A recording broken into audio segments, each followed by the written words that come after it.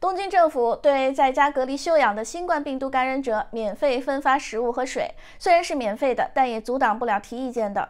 目前入境日本之后需要自我隔离十四天，但是管理上并不是很严格，全靠自觉。所以去散步、去便利店，甚至是去景点的人都大有人在。对于这种隔离，我们除了一声叹息之外，也无力改变什么。同样是隔离，新冠肺炎病毒轻症感染者还有无症状感染者的隔离就显得略微正式一些。由于医院床位紧张，在家疗养的人呢不断增加。考虑到这些感染者生活上的不便，还有些人呢因为这种休养而失去了经济来源，吃饭都有些困难。东京都从一月二十五号开始，正式对有需要的东京都的都民免费配送七天分量的食物和水。配送的食物分为主菜、配菜和零食，一共是三个纸箱子。主要内容是素食米饭、咖喱配料、意大利面、水和一些零食。到目前为止，已经向五千五百人配送了这些食物。在宅の方たちからのお声とかですね、あと、え保健所の担当の保健師さんとかですねあのもう少し野菜増やしてほしいであったりとか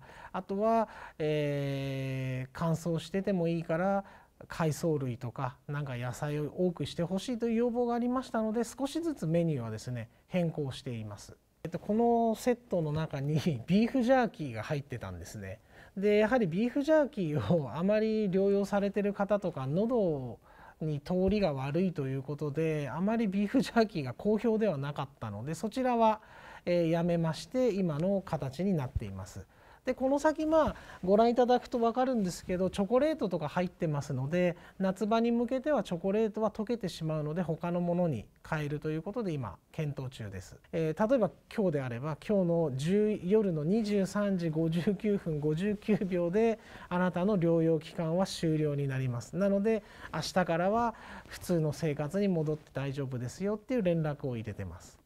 でその時に感謝の言葉とかをですねいただくことがありますね。闭关生活中最难熬的就是寂寞。日本公司研发了一款绝对与众不同的机器人，名字就叫 Nikobo，可以让人会心一笑的机器人。新冠病毒疫情中，减少接触，尽量不接触是关键。如何安放人类内心中多多少少都需要宣泄的感情呢？Nikobo 就是起这个作用的。温柔地摸一摸它的脑袋，还有它的尾巴，有可能会得到它微笑，也有可能会被它无视。这就是一款需要人类取悦的机器人。这个与其说是买回家的，不如说是把它请回家的，因为这个小机器人并不能帮你做什么事情，相反，把它请回家之后，你还得为它做很多的事情，时刻要安慰它的心情，问问它心情好吗？你现在寂寞吗？我们要不要一起玩一会儿？和其他的机器人相比，Nikobo 显得更加任性一些，但是就在你为 Nikobo 做一些事情的同时，其实你也可以从中获得更大的身心愉悦的感觉，找到自己为他人做事情的时候一种反馈回来的温暖。在此大家我还发现了一个非常非常有趣的东西，这个光这么看的话，你一定猜不到它是干什么用的。我告诉你，它的答案就是这个东西呢，戴上之后，戴在脑袋上之后呢，这个设计师的原理就是说呢，这个你的视线呢，只能看到正前方的这一点点的部分，可以让你非常专注的做眼前的事情。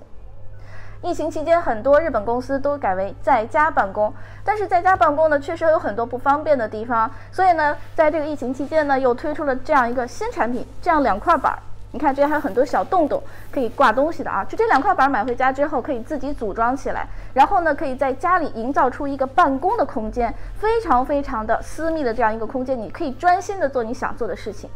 疫情何时结束，完全取决于疫苗。日本好不容易才弄回来一批疫苗，保存环境呢要求零下八十度，为此日本还紧急定制了一批冰柜。但万一冰柜坏掉了怎么办呢？果然，二月二十六号就有一家医疗单位的冰柜发生了故障，自动断电。发现时呢，温度已经上升到了二十七度，可注射一千零三十二次的疫苗就这么废掉了。好在日本公司又出了一款装上干冰后可以保持零下七十度状态，最长十八天的真空断热。冷藏箱最妙的是呢，监控箱内温度不需要开箱，还有 GPS 装置和缓冲设计，价格也不会很贵，因为不必购买，租赁就可以，非常适合今后运输和保存疫苗。